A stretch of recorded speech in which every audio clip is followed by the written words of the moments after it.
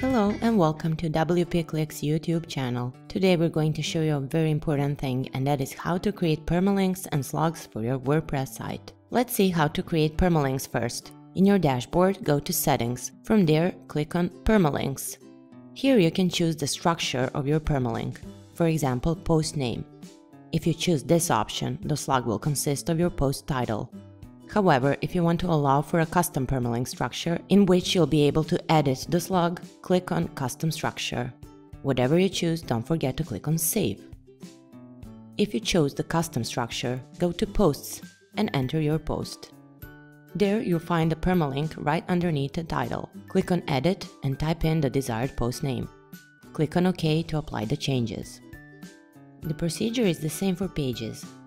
Again, the permalink will be located right beneath the title box. Click on Edit, modify your permalink and click OK to save the changes. We hope you found this tutorial helpful. For more information on this topic, check out the description and make sure to subscribe to our YouTube channel.